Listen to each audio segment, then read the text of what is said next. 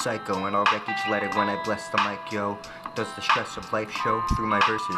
Give it to these beats twice as hard as virgins. Spit the speakers to death on purpose, even if I'm nervous.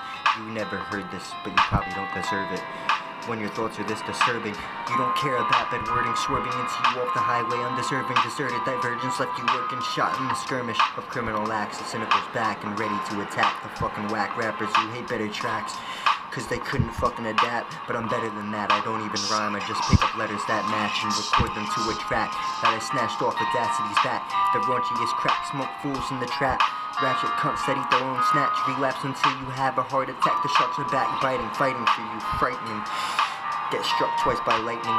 Shit like that sounds awfully exciting. The fuck am I typing? My thoughts are so enlightening, like bitches skyping, the flames igniting. As I'm writing down words with no pricing, no merchandising, just comments and fucking likings.